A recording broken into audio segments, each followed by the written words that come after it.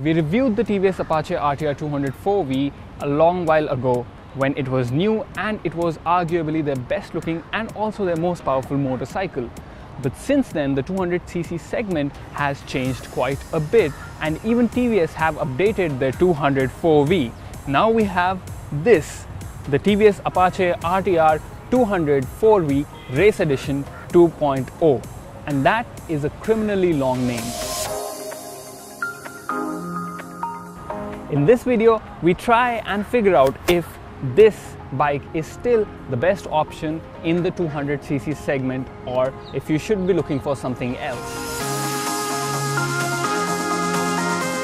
Let's get the exterior changes out of the way first because there aren't too many. So you have a lot of graphics and a lot of stickers telling you that this is the newer Race Edition 2.0. At the front you have golden forks which get these tiny plastic covers at the back, the tire also gets this plastic covering.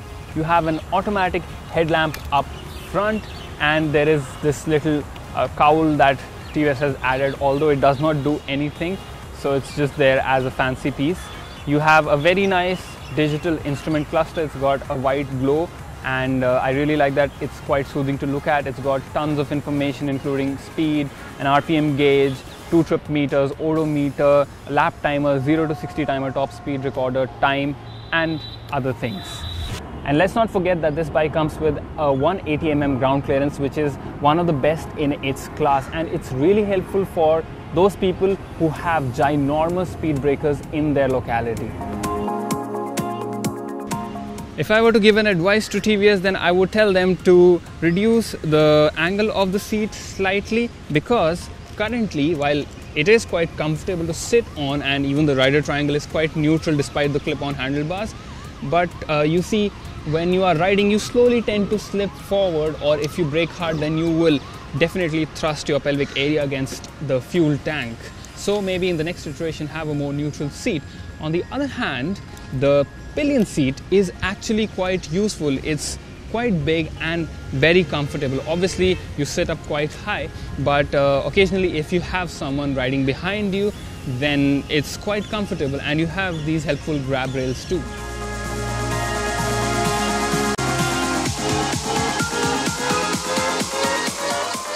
The biggest change in the Race Edition 2.0 was the addition of a slipper clutch, which is the first in its class. Now, I'll get to that, but before that, the bike still comes powered by the 197.75cc single cylinder oil cooled engine which gives you the power of about 20 horses and a peak torque of 18.1 newton meters. This bike is a whole lot of fun in the mid range and between 4000 to 6000 rpm is where you'll have the maximum amount of fun. Needless to say, it is super fun to ride around in the city. The engine comes mated to a 5 speed gearbox and now coming to the slipper clutch that really makes the clutch action very light. It's very easy to shift gears up and down. In fact, if you want to stitch a fast lap together then you can just shift the bike without even touching the clutch.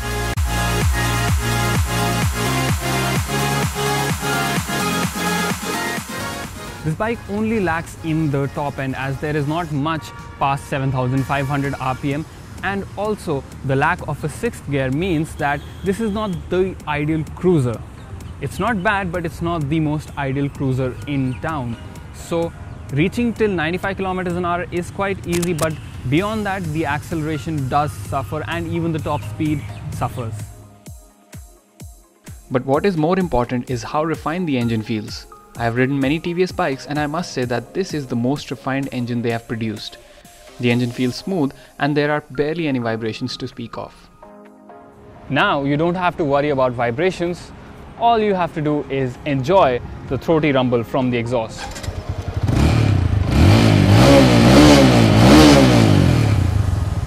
And that, my friends, never gets old. Since the bike has not changed drastically, the rest of the dynamics also remain the same. The suspension setup is mildly stiff but very tactile allowing you to feel in contact with the tarmac below. The disc brakes along with dual channel ABS bring you to a halt safely. The rear brake however lacks initial bite but gets down to business when you plow it hard. I was able to get a mileage of 43 to 44 kilometers to a liter, but depending on your riding style, you could get anything between 40 to 45 kilometers per liter. Now, cold start is a problem with this bike, but on the brighter side, it takes less than two minutes to get this bike up and running. In traffic, the engine does not heat up to an uncomfortable level. In Delhi, we have the advent of summers and temperatures are going beyond 30 degrees Celsius, but still in traffic, I did not find the engine to be emanating so much heat that I was uncomfortable.